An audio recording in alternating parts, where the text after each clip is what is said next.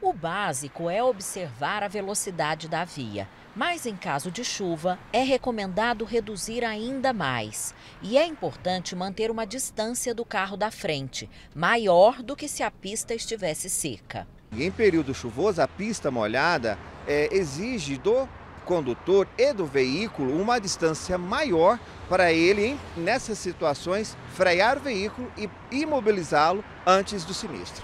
Os buracos ficam encobertos em caso de chuva, um perigo a mais. Podem estragar o carro, furar o pneu.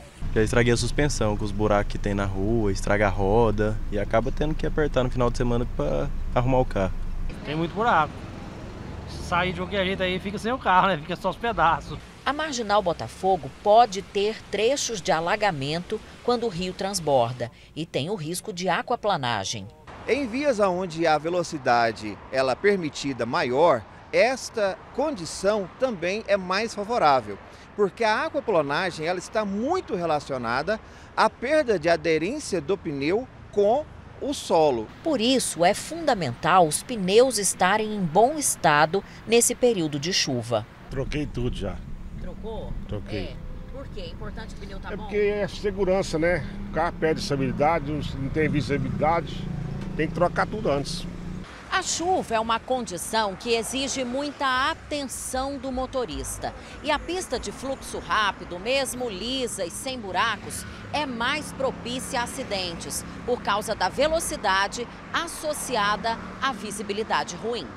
Os desembaçadores e limpador de para-brisas precisam estar funcionando bem e o farol deve ser ligado sempre que começar a chover. Ligar o farol na luz normal dele, jamais em luz alta. Isso atrapalha a visibilidade tanto dele quanto também dos veículos que estão no sentido contrário. Se você estiver no meio da chuva forte e observar que o nível de água passou da metade das rodas, evite atravessar, pois a maioria dos carros não tem força suficiente. Muito forte eu paro, eu fico abrigada.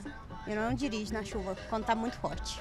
É importante mesmo buscar um local seguro. E na cidade é diferente da estrada. Dentro da cidade é importante que o condutor busque é, a via, sair da via de grande fluxo, parar em local que seja permitido para aguardar o volume de água das chuvas diminuir. E nas rodovias, o condutor jamais pode parar no acostamento porque no acostamento é justamente para, em situações de emergência, o condutor buscar para não se envolver em sinistro de trânsito.